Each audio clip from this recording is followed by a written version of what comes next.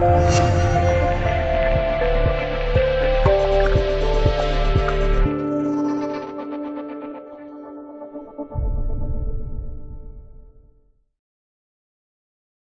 豆坦克可不是日军专属哦，在热门网络游戏坦克世界中，有着这么一个非常难达成的高难度成就——奥利克勋章。这项成就要求玩家驾驶装甲薄弱的轻型坦克，在一场战斗中击毁三辆或者以上等级比自己高出二级的敌方坦克。这个勋章所致敬的原型，正是二战史上第一个坦克王牌车长，来自波兰装甲部队的埃蒙德·奥利克。与玩家所要挑战的游戏成就相比，奥利克在现实中达成的战果只能用传奇二字来描述。在一场战斗中，他驾驶着弱小的超轻型坦克，击毁了三辆怪物般的德军坦克。更神奇的是，他的战果竟然包括一位公国的王子——坦克世界的奥利克勋章，第二次世界大战中诞生的第一名王牌坦克车长。波兰坦克车长埃德蒙·罗曼·奥利克，埃德蒙·罗曼·奥利克生于一九一八年一月二十六日，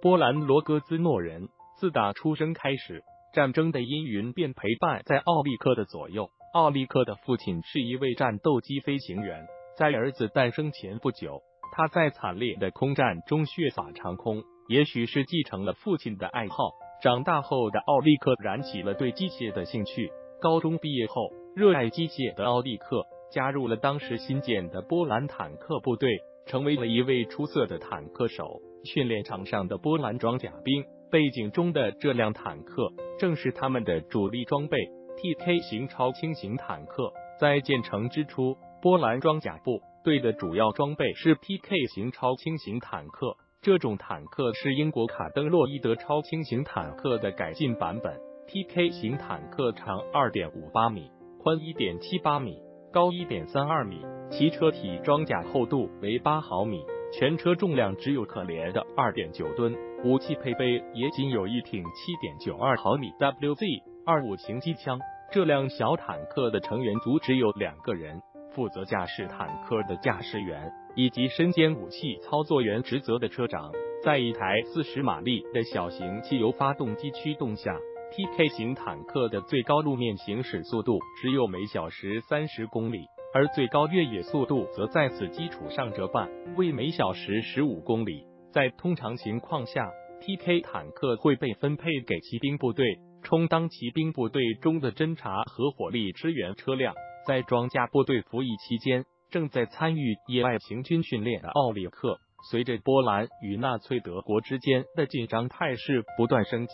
波兰军队在一九三九年初开始大规模动员已复员士兵，将他们重新编组成新的部队。此时的奥利克早已退役，安安稳稳的拿着电报员的薪水。在接到部队的动员令后，奥利克毫不犹豫的披上了自己昔日的战袍，重返波兰装甲部队服役。重新入伍的奥利克获得了军事军衔，并且被分配至波兰第七十一装甲中队。该中队的两个营分别装备了 WZ 三四型装甲车和 PK 型超轻型坦克，集结在一起的 PK 型超轻型坦克。这种坦克个头矮小，防护薄弱，机动性更是糟糕透顶。乍一看来，TK 型坦克完全不是德国战车们的对手。尽管 TK 型坦克的防护性能与奥利克退伍前相比，并没有多大的改善。但是波兰装甲部队却设法在这种自重只有不到三吨的坦克上安装了一项秘密武器——二十毫米 WZ 三八 FK 反坦克防空反坦克重机枪。尽管当时波兰军队将这种速射武器分配在枪的名列中，但是按照今日的枪炮分类标准，WZ 三八 FK 应被列作机关炮一类。WZ 三八 FK 型二十毫米。机关炮拥有一根修长的七十四倍镜炮管，使用的是二零 Max 幺三八规格的弹药。步兵部队使用的 WZ 三八 FK 型二十毫米反坦克高射机关枪炮，其修长的身管在图中表露无遗。一群德军士兵正在好奇的围观一辆被波军遗弃的 PK 三型坦克，在加装二十毫米机关炮后。这些改进型的 PK 型坦克被分类为 PK 三型。在四百米的距离上，WZ 三八 FK 型机关炮拥有击穿十五毫米厚的表面硬化装甲钢的惊人威力。这也就意味着，这门炮有能力从正面击毁除四号坦克以外，当时德军装备所有的坦克。而一旦处在对方侧后，WZ 三八 FK 型炮则完全能够将包括四号坦克在内的一众德国战车打成火球。奥利克被分配到其中一辆装备二十毫米炮的 TK 三型坦克上，充当这辆坦克的车长。与他搭档的是一位年轻的机械师兼驾驶员，名叫布罗尼斯拉夫扎克热夫斯基。正在维护战车的奥利克右侧蹲立着，蹲在他身旁的是机械师兼驾驶员布罗尼斯拉夫扎克热夫斯基。在战争爆发之初，奥利克所在的第七十一装甲中队。被分配给驻扎在波兹南的大波兰骑兵旅。由于波兰军队指挥系统中的混乱，大波兰骑兵旅在开战后并没有稳步后撤以稳固后方防线，反而越过波德边境向德国境内发动反击。不到数天后，德国装甲部队从南北两个方向发动闪电战，以前行包夹了向前进攻的大波兰骑兵旅。由于担心部队被德军彻底合围消灭。大波兰骑兵旅的指挥官塔德乌什库特尔巴决心带领部队向华沙方向突围。九月十八日，奥利克带领另外两辆 TK 坦克在坎皮诺斯森林执行侦察任务，与一支由三辆德军坦克组成的装甲纵队不期而遇。要知道，德军这支装甲纵队的排长来头不小，他名叫维克多四世阿尔布雷希特冯拉奇布日公爵。读到这里。读者们肯定会一头雾水。实际上，维克多这个头衔源自于上西里西亚的拉齐布日公国，而维克多四世正是该贵族头衔的继承者。从某种程度上说，维克多四世可以算得上是该公国的王子。时过境迁，公国的领地早已伴随着凡尔赛条约的签署而灰飞烟灭。但是维克多这个贵族头衔依然被其家族传承沿用。拉齐布日公国昔日的领地图中的黄色区域，该公国最终被并入普鲁士王国的版图，而其贵族称号则被维克多家族所继承。拉齐布日公国所使用的文章，当时如果不是其父亲维克多三世对纳粹当局的政策指手画脚。这位英俊潇洒的王子哥可能不会落得被德军强行征召到波兰前线充当一名基层装甲兵排长的结局。此时，维克多四世正指挥着旗下的三辆坦克沿着坎皮诺斯森林中的小道向前推进。他作为指挥官，自己坐镇一辆四号 B 型坦克，其余的两辆三十五 T 型坦克分别充当前锋和后卫。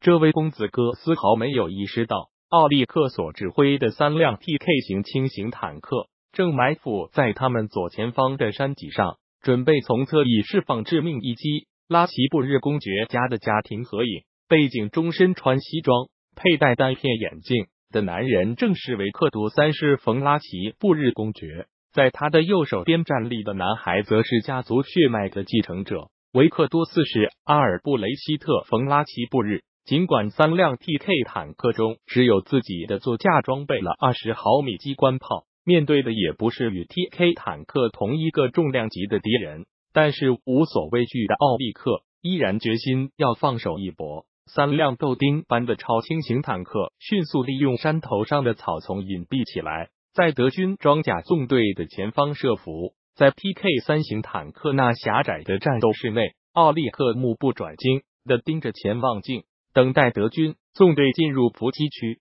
当三辆德军坦克完全进入主炮的有效射程后，屏住呼吸，奥利克的稳稳的瞄准领头的三十五吨坦克，扣响了二十毫米炮的击发扳机。一辆被俘获的波兰 TK 型坦克正停在德军四号坦克的身旁，两辆坦克的体型差距一目了然。转眼之间，领头的三十五吨型坦克被一枚枚二十毫米。穿甲弹打成了马蜂窝，火焰熊熊燃烧，窜出车身，烟雾四处弥漫。没等这辆三十五吨反应过来，他很快被奥利克彻底击毁。身为排长的维克多四世感到大祸临头，立刻指挥自己的四号坦克与另外一辆三十五吨坦克向右开下路面。两辆德国坦克转过炮口来，对着山脊上漫山遍野的草丛胡乱开火射击。然而，这一切完全是徒劳无功。TK 型坦克的车身十分低矮，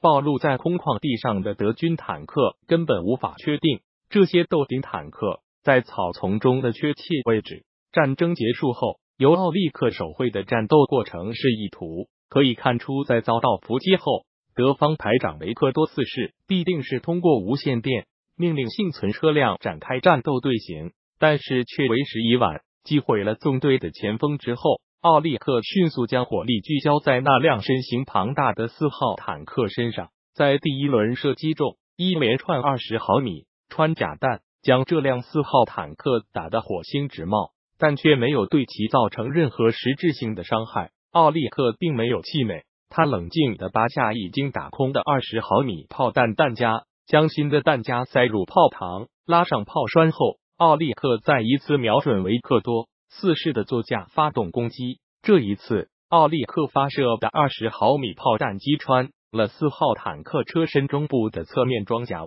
引爆了内部储存的燃油和弹药。在迅爆火焰的吞噬下，拉齐布日公国的王子维克多四世堕入了烈火的地狱，当场被烧成了一块焦炭。至此，奥利克成为了拉齐布日公国的弑君者。他的这一击彻底扼杀了该公国传承的血脉。被奥利克击毁的维克多四世座车，二十毫米穿甲弹在车身上制造的弹孔黑框处清晰可见。从另外一侧观察，被击毁的维克多四世座车，其车身上的装甲板已经被炮弹殉爆的冲击波撕裂。目睹前方的排长座驾化作一团火球后，负责殿后的三十五吨坦克慌不择路。加大发动机的马力向前狂奔，试图逃出三辆波兰坦克的火力范围。奥利克稍作调整，迅速命令驾驶员扎克热夫斯基调转车身，并且用二十炮从侧后方终结了这辆疯狂逃窜的德军坦克。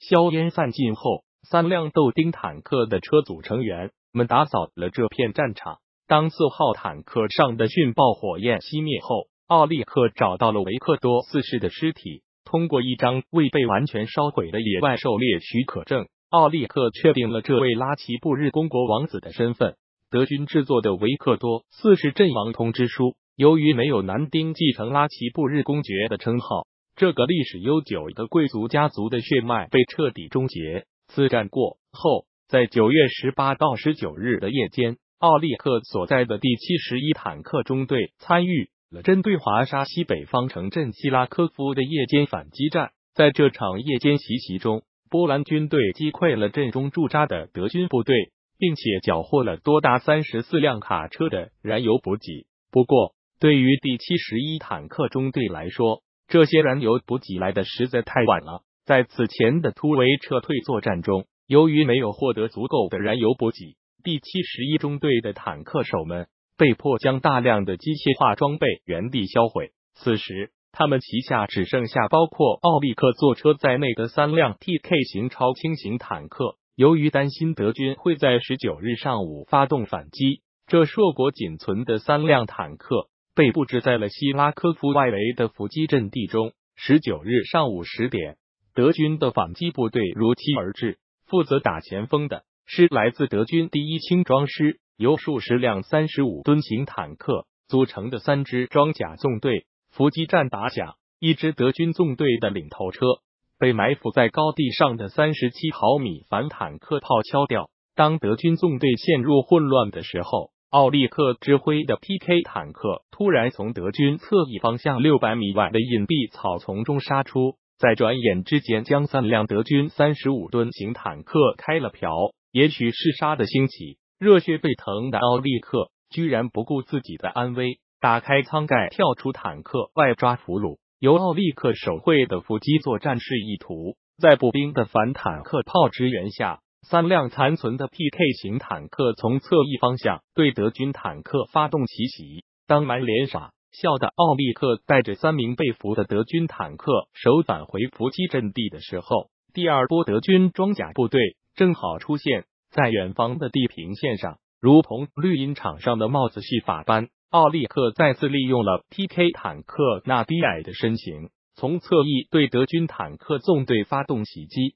直到前三辆坦克被奥利克打成火球后，苟延残喘的最后一辆德军坦克终于意识到威胁的存在，他迅速调转炮口，向着奥利克的 PK 坦克喷吐致命的大口径炮弹，在不到三百米的距离上，两发炙热的三十七毫米穿甲弹。将奥利克驾驶的小豆丁打了个对穿，奇迹般的，奥利克与驾驶员扎克热夫斯基并没有被弹片打伤，而战车也没有因为炮击而失去战斗力。回过神来的奥利克迅速抬起炮口，用一连串二十毫米炮弹将最后一辆三十五吨坦克送上了西天。在希拉科夫外围的伏击战中，奥利克宣称自己的车组击毁了七辆德军坦克。再加上此前击毁的三辆坦克，奥利克自身的宣称坦克击毁战绩达到了十辆，这使得奥利克成为了二战中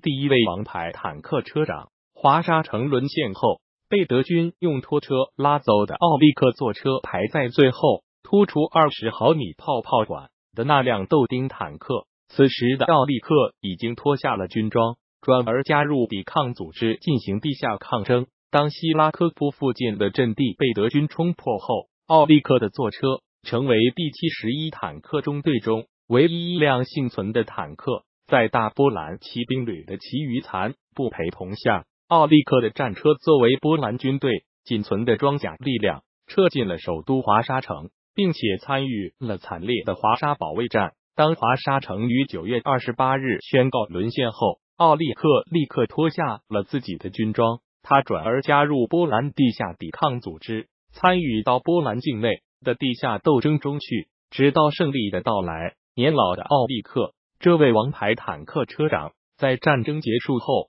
成为了一名少有名气的建筑设计师。战争结束后，脱下戎装的奥利克，转而开始研究建筑学，并且成为了一位小有名气的建筑设计师。他设计建造了罗兹大学的图书馆和学生宿舍，以及奥波莱剧院的主体建筑。一九八二年四月八日，二战中的第一位王牌坦克车长、拉齐布日公国的弑君者埃德蒙罗曼奥利克与世长辞，享年六十四岁。近年来，著名的波兰军事历史作家雅努什马格努斯基将奥利克以及战友们的英勇事迹编辑起来。出版波兰装甲兵部队历史专著，与德国战车对抗的蟑螂们。时至今日，波兰政府在奥利克击毁维克多四世坐车的坎皮诺斯森林内树立了一块纪念碑，以示对这位勇敢坦克手的纪念。模型爱好者还原的 Q 版奥利克憨态可掬，